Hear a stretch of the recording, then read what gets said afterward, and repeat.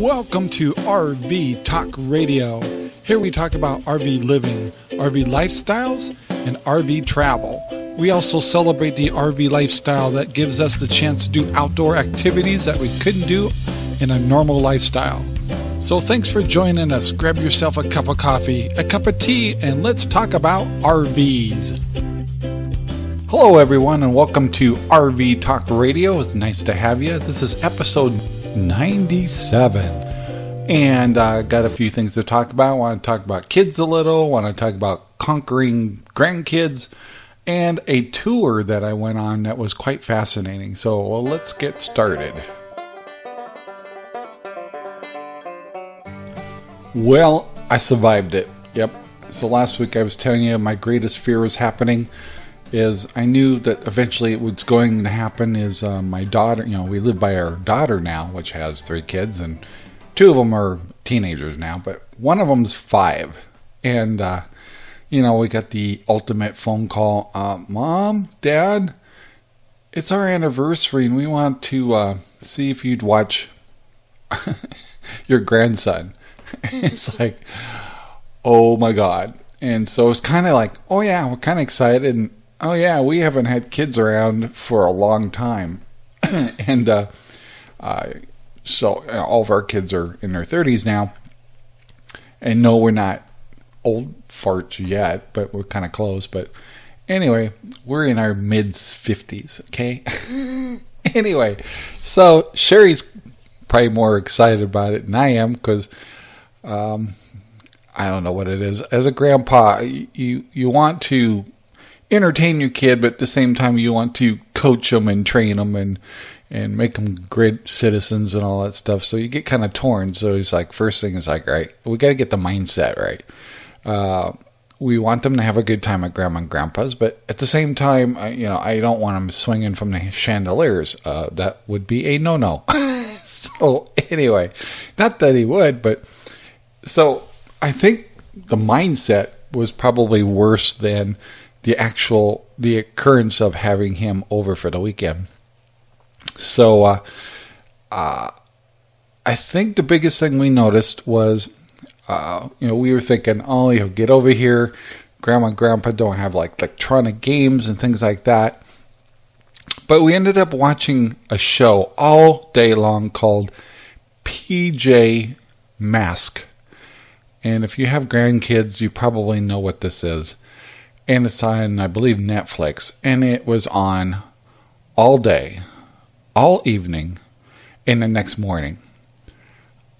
And I can tell you right now, I'll never watch another PJ Mask again if I, until, of course, till he gets there again. Oh my gosh, it's just, uh, I, I don't understand why Looney Tunes is not back on because they were much more entertaining as far as I'm concerned. But anyway, so that was the first torture. But I mean, it was worse things. I guess like you know, Fox News or PJ Mask. I guess PJ Mask is much more entertaining.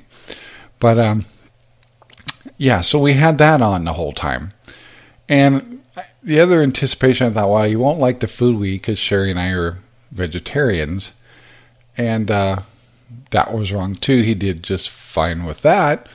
And so I'm thinking, here we go. We got the great big um, bedroom all set up for him. He'll be terrified. And he was fine. he went to, he got kind of pooped out around 9.30, 10 o'clock.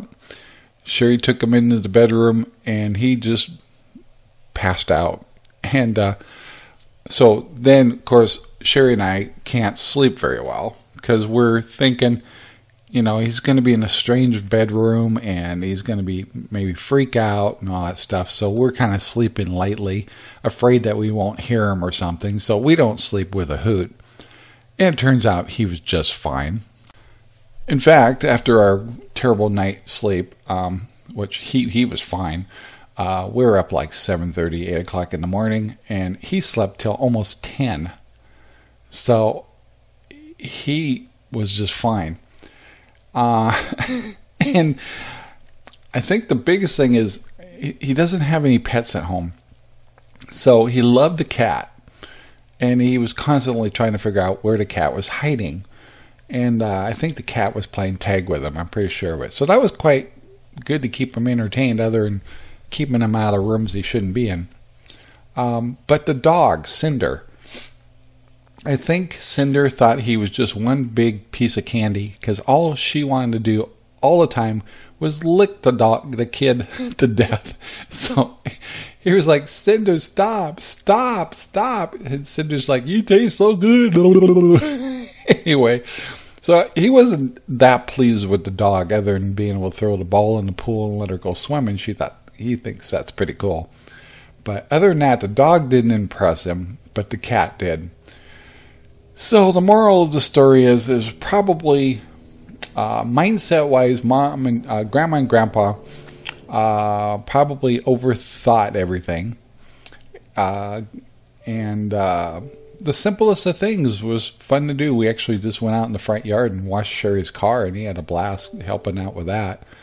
And uh, we had to get some soap or stuff we keep in the boat, so he thought it was really cool. He could climb up in the boat, even though it's just sitting on the side of the house.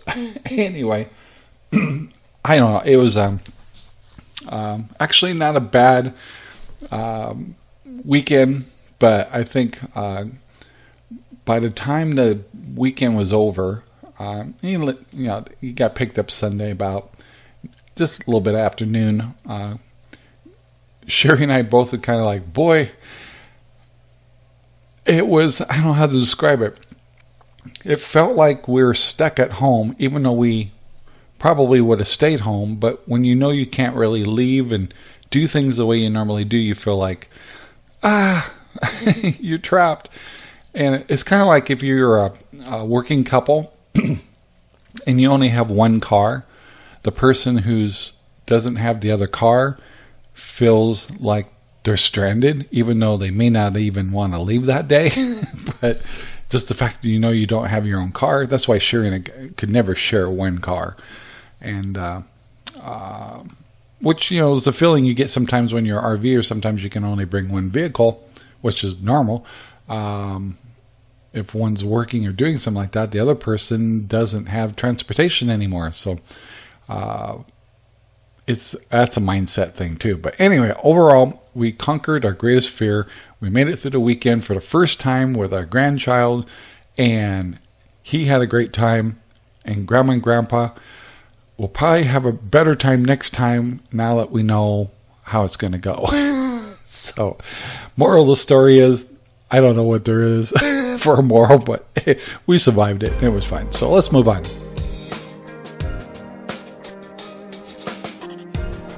Well, over the weekend, I also got uh, invitation to a tour of a company that um, might surprise you a little bit. Um, and I think this is RV related because I meet so many people that do it too. And that's vaporing which is alternative to cigarettes. And reason I'm so pro on that is some of you know that I quit smoking five years ago. I used Chantix, and then, but the problem is, and a lot of you would know this if you've been a smoker for a while, is you miss the habit, and sometimes you miss that break time. So my other solution to quit smoking was I uh, learned about vaporing, and uh, I know it's uh, still a form of smoking in a way, but um, it's a lot less uh, severe on your lungs and all that stuff. So, um, and then when it comes to nicotine, you can actually reduce it to a, such a low level, um, or just eliminate it totally, uh, that you're not dependent on it anymore. So, I'll, I'm not going to get into the science of all of it and stuff, but uh, um, when I was a smoker, I smoked menthol cigarettes. And so I tend to like something that's minty or uh, uh, spearmint kind of taste to it. Um, so it took me a while to, um, I almost ended up smoking again because I just, I, couldn't, I wanted that break time. so that, um, for those of you who may smoke or or vapor now, you know there's all kinds of stuff. Well, I started out with a thing called blu, which looks like a cigarette. They're black, um, but it just didn't fulfill that need of the habit part. And so it took me a while before I kind of discovered the, the battery and tank thing. And then you find out there's like tons of flavors out there. And none of those really did much for me because I was a menthol smoker until I came across the menthol, kind of what they call juice. And I finally came across one I really, really liked up in Washington called uh, Extreme Ice, which has a real um, uh, minty kind of uh, taste to it and a coldness to it. And uh, it, like it, once again, if you're a smoker or a vapor, you kind of understand what I'm talking about. And then having the right equipment um, helps a lot too. Once you get that combination set, um, you can be quite content. And let me tell you one thing: it's like an instant uh, raise in income because you know cigarettes can get between nine to if you live in Hawaii, here it as get as high as thirteen dollars a pack, and uh, so you're automatically going to save about three hundred dollars a month right off the bat, and you don't notice it right away until you realize that boy, you have forty dollars in your wallet, and a couple of days later you still have forty dollars in your wallet. Amazing! You're not swinging by the store to buy cigarettes. So anyway, this Mount Baker Vapor was the only one that had this flavor I liked. So you could order it online back then. It's like five years ago, and uh, um, so pretty much that's where I got my what they call extreme ice from. And so as we traveled and stuff like that, eh, eh, when I needed, you know, I'd buy enough for quite a long time, and I'd have it sent to wherever we could have it sent to when I needed it. And uh, eventually, you guys know the old story. You know, we traveled for quite a long time, and then we ended up in uh, Arizona, and we bought a house here. And I've been ordering my extreme ice, and I started real seeing on my receipts that they are in the same city that I am now, which is Mesa, uh, Arizona. And it's like, whoa, when did that happen? I didn't really notice it. So uh, now, when I want to get some of this juice, uh, or what they call uh, Extreme Ice, uh, I actually, you know, got the address, went to the little store, and started buying it there. And uh, got the, you know, you start getting to know the people there. and of course, you know, I tell them that we have the podcast and stuff, and and uh, um, as time went on, and, and um, long story short, uh, they get to know me pretty well, and I got a personal invitation to go on one of their on a tour of their company, and uh, uh, this would be the first time they've ever done anything like that, and it would be like they actually invited like six people, and uh, so gosh, I was wasn't going to pass that up. I was kind of fascinated about how all this stuff worked. So uh, I definitely wanted to go, which happened to be the same weekend that we're watching a grandkid. But Sherry said, "No problem. I know you'd like to go go check it out. So I did, and this is what I found out. First of all, you get kind of the mindset you're thinking, you know, a bunch of you know young adults sitting in the back room mixing chemicals together and and then uh, doing it, and and that's so so wrong. so that's not the case at all. Uh, it's actually a what was really amazing about this Mount Baker Vapor place is, first of all, they have over 100 employees. And then of course, a little store in the front It's a pretty professional looking building. Uh, I'm thinking it's a pretty small operation, and, and it turns out they actually leased the entire building. it's like a big building. So, uh, uh, first thing is we went in there and we got to try out some of their new products. And of course, they're into marketing and advertising, so they're trying to uh, uh, capture people, especially like me in my age, where we're kind of like been smoking forever and you know to comprehend that vaporing might be an alternative to try to quit smoking um, we're the target of trying to, you know, of what they're trying to advertise and market to. So uh, why not give a tour and work with somebody that's in that age bracket? Me and there's younger uh, folks there too. And their vaporing was actually all of them i met uh, all had the same reason for vaporing they wanted to quit smoking and uh, but they uh, between smoking or what they call making a, a big cloud. If, I know it sounds funny, but a smoker tends to suck on a cigarette, hold it in their mouth, and then inhale. And then a cloud kind of person will inhale it straight to the lungs and then blow out, and they want this big cloud thing. it's a sensation thing. So I know it sounds funny, but um, if you're a smoker, you'd understand what I'm talking about. So it was really good that they had such a diverse people there because I tend to use it like a cigarette, and and the other ones use it like a big huff type thing. And so it was interesting to talk to them and see like equipment and flavors and stuff are a lot more important um, to someone like that as opposed to someone like me where you want a, device that worked more uh, easier like a cigarette. And so that was the first kind of fascination. And uh, and and once again I know uh, so many RVers either smoke or they vapor. Uh, I find this um, subject to be quite appropriate for RV Talk Radio. So I'm going to tell you a little bit more about uh, this company and uh, uh and and and after talking to them, they're actually going to set up an affiliate program with us where we might be able to save you guys some money to get your products and uh, and believe me. Once I tell you about this company, you'll want to do business with them because they were amazing.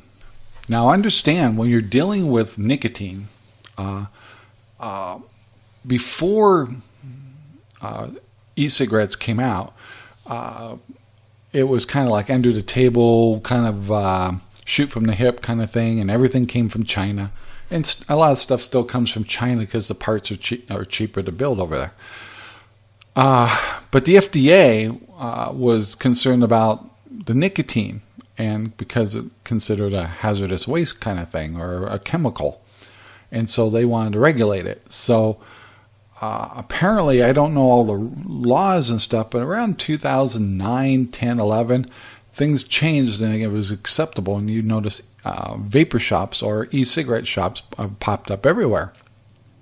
And uh, so FDA says, okay, if you're going to sell this stuff, you have to meet our regulations. So nicotine's considered a, a hazard or, or a, a chemical, so it's got to be locked up and when it's uh, worked with, it's got to be kept in a clean room situation.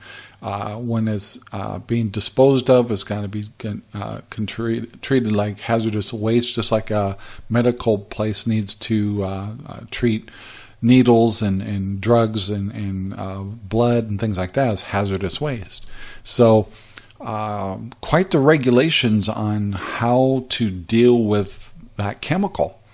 And then at the same time, uh, to deal with that chemical and to make these products and these bottles and stuff, it's you have to uh, run a very sanitary situation where in their bottling room it was literally a uh, clean room where you come in and you're covered in a white outfit and your shoes and your face and your hair hair nets the whole works a face mask um, to uh, for extreme clean situation, and that's exactly what they had. And it was a, a truly amazing, uh, very expensive equipment and very uh, um, detailed um, scenario because you know they have to meet the regulations of the FDA, and so. Uh, I mean, amazingly, you know, my head's just going, whoa, just exploding because, like, you have this picture in your head of like you know a couple young adults sitting in the back room mixing a bunch of chemicals and then putting a label on it. Not so. Uh, this was quite a professional uh, situation. When we're talking about 100 employees, it's just like an aerospace company, well laid out, inventory control systems, uh, very controlled scenarios, marketing, uh, customer service, uh, all the above.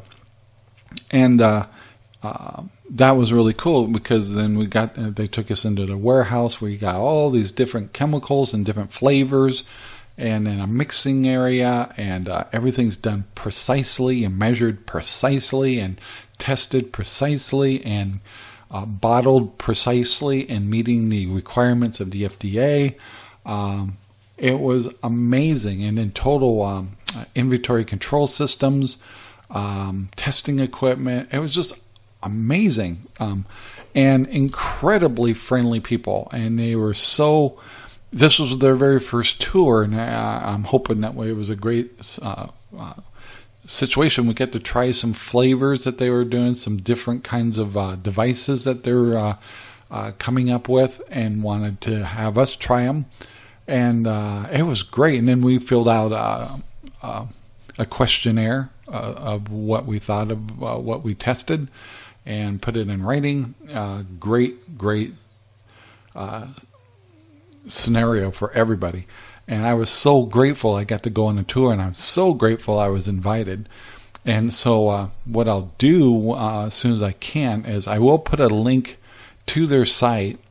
But in the future shows, I'm going to see if I can't, uh, and, and, they want to, uh, give all of our listeners a discount or some kind of a program where they can order through us and save some money. And so, uh, and I, I would not push these guys if I wasn't sold that these guys were not only legit, but very customer friendly, very, very professional, very, very safe. Uh, it was amazing. And I can't thank Mount Baker Vapor enough for, uh, their hospitality. And if you're a vapor or thinking you want to quit smoking, um, they're the company to go to. Uh, some of these other ones I kind of like uh, they're makeshift and stuff. And um, not only do it, does Mount Va- Mount Baker Vapor have to do everything professional, their vendors do too, and they don't. Um, that's a problem. And so they run a tight ship, a very tight ship. And uh, all I can say is if you're looking for quality, you're looking for consistency, and you're looking for uh, professional, clean, um, meeting the regulations and doing things right, then Mount Baker Vapor is definitely the company you should deal with for vaporing or e-cigarette needs. Uh, great, great company. So yeah, let's move on.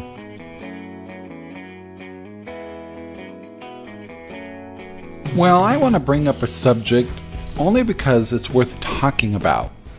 And um, what I want to get is you know comments and, and ideas from folks. I'm not looking for being nasty to each other, but I am going to bring up a sensitive subject, and and that subject is RVers and having and raising kids in the RV environment. And I and I'm going to spill that over to even like the boating or the sailing uh, cruisers, you know, that go around the world with children and stuff. Is and what I want to hear is the pros and cons of what you think, or if you're actually somebody out there that have kids out there, uh, the pros and cons or concerns you might have about that. But it still sets f- funny.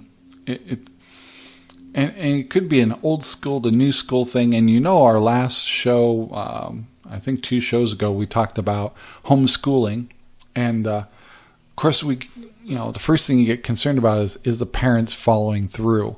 They say, "Well, I'm homeschooling my kid." Well, some take that very serious, where others just like, "Ah, just go watch the videos on the network and then you know and uh, answer the questions and take credit and are the kids really getting a good education?" That's one thing right there. And so we kind of talked about that already, but you know, there's a couple of channels out there that have either, you know, kids with them or there's even one out there that's expecting a child. And, and it's like, really, is the RV environment really going to be a great place for a, like a newborn? Really? I mean, uh, I know I was, uh, Sherry and I were traveling with the fifth wheel. We were on our way up to Fallon, Nevada, just spending the night, and there was a kind of an older Class C with a couple in it and a baby, and the baby was having a uh, a rough night, and so crying a lot and all that stuff. The thing is, you can't cover up sound very well, so we're right next door to a screaming baby in an RV parking lot. I mean, it was like, really? Uh, I don't know, just and it was kind of cold. I don't know how well their heating was over there and stuff, but you know, uh, um, I mean, you don't have much room. It was a much smaller rig than our fifth wheel. And, you know, what about crawling and walking and all that stuff? Uh, um, I, I don't know what to th- say or, or, or I mean, is is really? I mean, is is there a time where you might want to just say, you know what, let's hang this traveling up? I know it's it's being selfish in a way. It's like, well, we're doing the the traveling because me and my husband or me and my partner uh, like it, and so just because we're having a child or we have a child, uh, uh, it's more about me. is it more about me or is it more about? I mean, I as a parent, a lot of you know that your whole life starts to dwell around your own kids.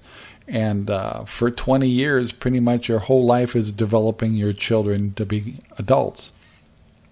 So the question is, is like, all right, um, if I'm going to be a parent, am I? I need to set up a, a, a scenario that's a win-win for my child, can grow up and develop uh, as naturally as possible. Uh, give them an environment to be social. Give them an environment that have something that they can call their own. Um, give them a scenario of a place that they can play and feel like it's theirs. Um, is that a reasonable thing to think about as an RVer or, or a sailor cruising? I mean, there's like cruising couples out there with children that are actually kind of staying together and doing homeschooling and trying to use their sailing um, environment as a teaching platform. And that's good. I don't, I don't disagree with that uh, at all. And, and I'm sure RVers are doing the same. But in general, I mean, and once again, some people say, well, that's your opinion, Rob and no, not necessarily is my opinion. Is is kind of like things I hear about or can or we hear in discussions, and so I'm not. Uh, I probably uh, will definitely sway towards old school more, but uh, I'm also, if you watched other shows, open minded to the different environments. But at the same time, we're uh, that's why we're a talk radio. Is like um, uh, and of course, anybody that's out there that is an RV or that has kids and stuff would like to be uh, on our show. It'd be great, and and we're talking about the pros and cons of it, and so uh, and discussions, and that's what our show is all about: the lifestyles. And so, uh, what would I mean? Uh, could there even be laws in the future saying you know parents are required to do such and such for kids um, because there's great models out there but there's also bad models of it. And the only person that suffers is the children themselves.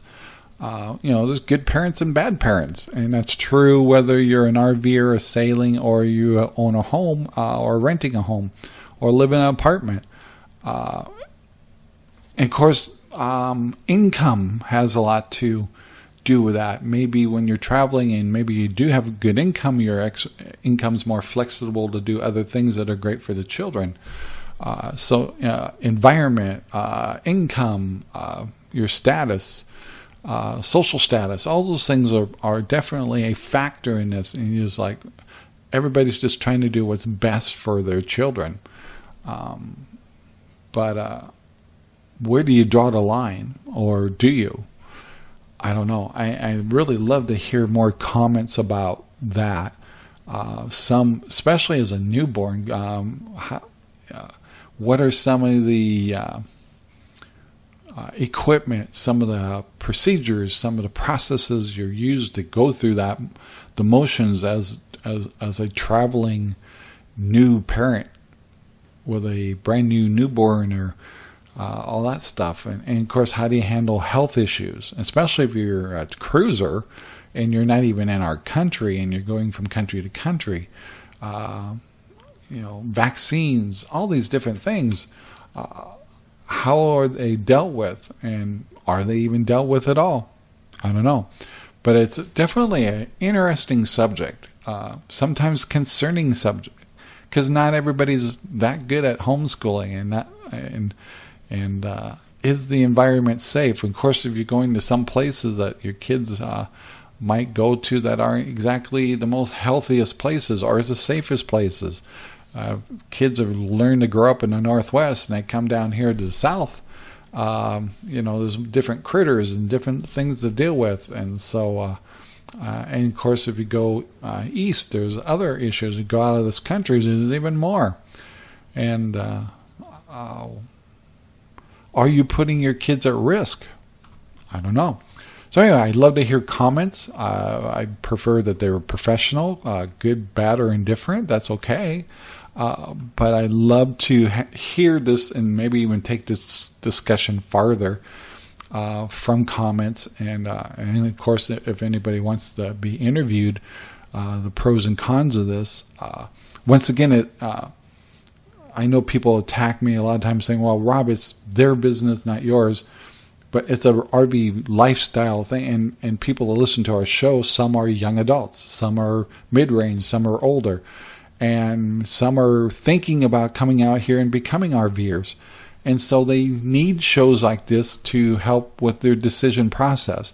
We shouldn't be just advocates for being RVers. Uh, without showing the pros and cons of this lifestyle uh, maybe uh, RVing is good just as a part time thing or a seasonal thing for people instead of full time.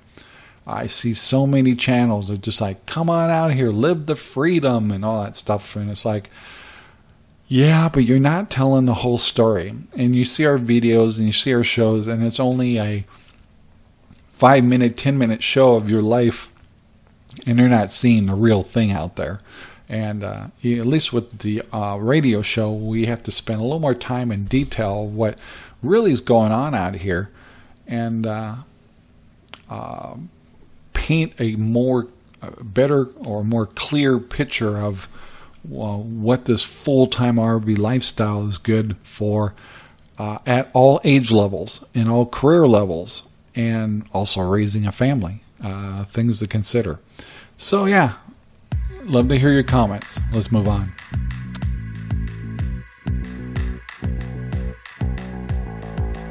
Yeah, I caught the video here from uh, Cheap RV Living uh, called the RTR, which is over at Quartzsite, which is a rendezvous. Uh, one, rendezvous. Whoops. Uh, that they do every year. I think it's called Rubber Tramp Rendezvous. And uh, boy, that's a word I have a hard time with. Anyway, and I get a kick because the first thing he kind of says is, "Well, we're kind of rebels or we're uh, outcasts," and uh, uh, yeah, I guess I, I guess that's true I, a little bit, but same time, it's uh, you know, I get quite a turnout. He's saying he claims that there's about 500 plus or minus uh, that show up, and so he was uh, addressing some of the questions and and uh, concerns of people that want to go to this rendezvous. And uh, anyway, uh, I'm not uh, advertising it, nor am I denying it of a good or bad thing to go to. Uh, Quartzsite's a, a, big place that a lot of RVers go to, including van dwellers and uh, uh, and it can be very it is uh, very friendly and a great community of people, uh, and and it is a fairly uh, safe environment. And so I encourage you if you ever get a chance to go to Quartzsite, if you haven't done it yet, it's quite the experience, no doubt. But uh, yeah, the big RTR is coming up, and uh, it's a little controversial whether it's you know uh, considered a event that should be licensed and sponsored or um, insured. At the same time, Quartzsite's a great big place where people uh, come together anyway. So, uh, you know, you might want to keep that in mind that it's not insured and it's not a uh, a protected event, uh, nor is it permitted, you know, have a permit to do so. But it's actually part of a big group of people that go to the Quartzsite anyway, so it's kind of a gray area. So uh, it's up to you whether it's something you want to go to, but it sounds like fun if you're a person that's into uh, van dwelling and stuff like that. Um, at the same time, it's uh, a bunch of rebels, I guess. Um, that are breaking the norm of everyday society, uh, good, bad, or indifferent. So yeah, it's coming up. One of the things he stressed in his video was the fact that there's uh, uh, folks that come there and they have generators and play music and things like that, and that kind of goes back to the module I was talking about with kids and stuff. Is um, introvert kind of people. They like to be, you know, uh, on their own. They like their privacy and things like that. Well, there's a kind of controversy there. It's like, okay, so you want to be independent, you want to be not the norm and outside of the society. So then all of a sudden you say, well, let's do a RTR and let's bring all this together and be a community.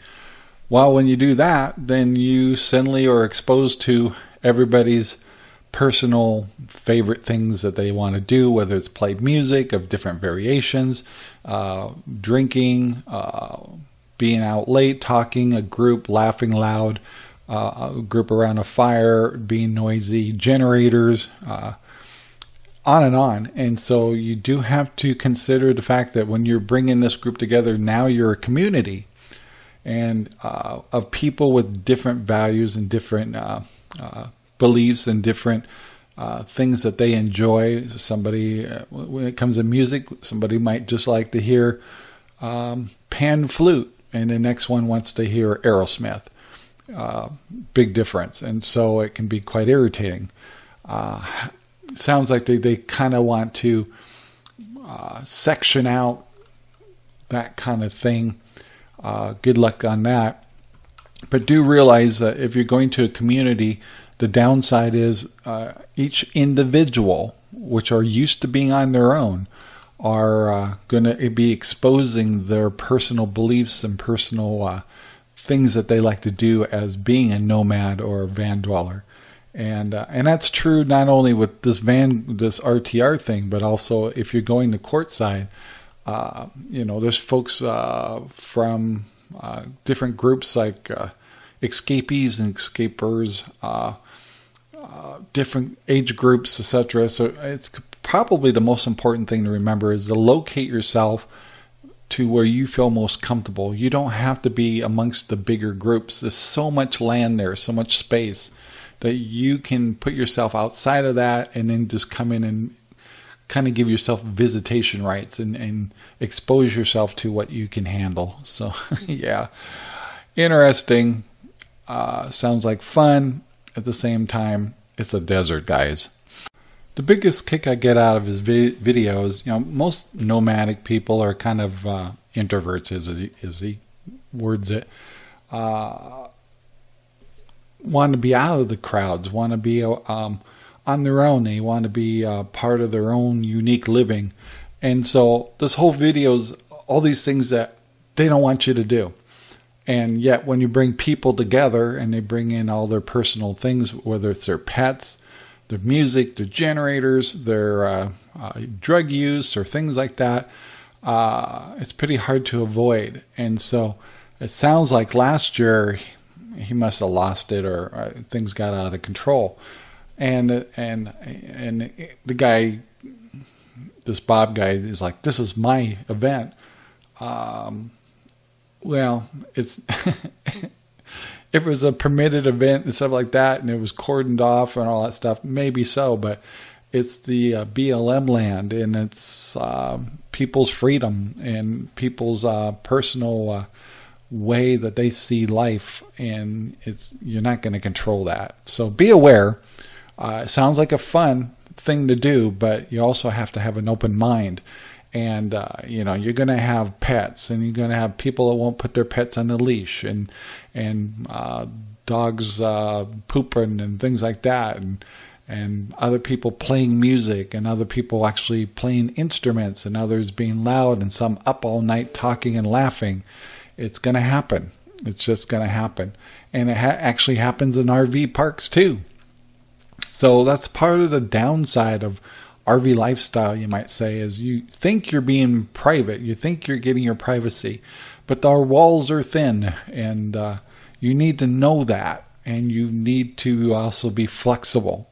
And uh, this RTR thing, once again, could be a lot of fun, but at the same time, you're going to have to be open minded and realize that everybody's going to be different and you need to either tolerate or get out uh, or move to a different spot and do it in a you know a way that's doesn't turn out to be a community fight.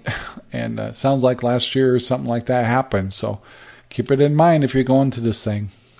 In conclusion uh, watching this i uh, the first thing that comes to mind is this guy must be a glutton for punishment. Because you know you always got that one percent that this causes issues or uh, uh, makes the event sour and uh, and of course when you start getting gatherings and stuff like that you start falling under permits and issues and and uh, support and porta uh, porta potties and stuff like that. So keep that all in mind. And it, I'm sure he would appreciate if you contributed in a positive way. But uh, it also sounds like, by the way, that there's opportunities of uh, uh, working with the vendors there and actually get a job for a while and get um, probably a lot of it's under the table, but uh, opportunity to do so. Uh, not to mention, this is a great time of year for uh, jobs at Amazon for the season. so keep that in mind. So, anyway, uh, I don't know what to say about something like that other than it's, you know, uh, law of attraction, you might say, like attracts like. Um, it's going to be folks with like minded people uh, that are doing this independent living. And uh, if that's something that uh, you would enjoy or think you'd like to try, uh, it might be the best place to go before you actually do it and actually get a true at least get the true everybody likes to talk up their stuff but try to get the true picture of that lifestyle and see if it's something that you would like to do or might help you um, make your life a little more complete i know it sounds funny but you know so many people living at um, at the max paycheck to paycheck and whole works and um, or maybe they're in a fixed income uh, this is a solution to that. It's a way to live with a lower overhead. And so it's something to keep in mind. It's not something for me, but at the same time, I still try to keep my mind open enough to say I could see how it works for others. And uh, keep that in mind. But just remember when you bring a group of people together, you uh, need to open your mind up and be um, uh, open minded to the fact that you're going to be around different personalities and different generations. Uh, the youngins, um, they have more of a it's all about me kind of lifestyle as opposed to older folks that have kind of principles and uh, morals of the past. And so when you bring those together, it can clash. And so uh, the best thing you do is open your mind. So anyway, RTR, if you get a chance to make it, you're interested in van life or independent living, uh, sounds like that they got some good things, good seminars, good things to, to uh, learn from others, and also to be part of a community. Well, that kind of wraps up today's show. I wanted to remind you that we created a new podcast called Old Time Radio. And what it is is basically old time radio, all kinds of things. Uh, Gunsmoke, Lone Ranger, the Inner Sanctum, uh, on and on. We got all kinds of stuff coming out. And we're launching as many shows we can per day.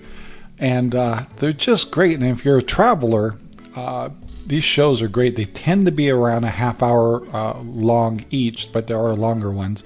We are launching War of the Worlds from uh, Orson Welles on Monday, or today. No, um, tomorrow on Tuesday.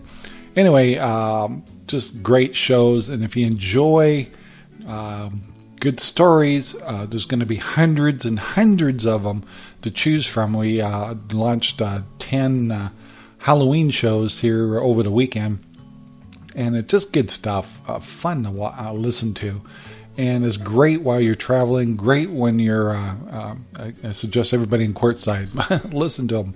Uh, good stuff, and you can uh, pull them up on your podcast software on your cell phone. So, anyway, keep it in mind goodoldradio.com. It's a podcast. So, uh, yeah, just put that into your phone, type in, just type in good old radio, and it'll, it'll show up, and you can subscribe and the shows will keep coming. There'll be hundreds of them. So, yeah, no lack of material. So, anyway, I want to thank everybody for listening this week. Uh, we survived uh, taking care of the grandkid over the weekend. Lots of great things happening. Uh, RTR is coming up, and Quartzsite, of course, just the overall event at Quartzsite. Um, lots of fun. So, Anyway, guys, uh, thanks for listening. Appreciate all the new followers. Appreciate the comments. Uh, we ask everybody always be professional. We look forward to hearing from you. And most of all, be safe and buy yourself an RV. Have a great week, everyone. Bye now.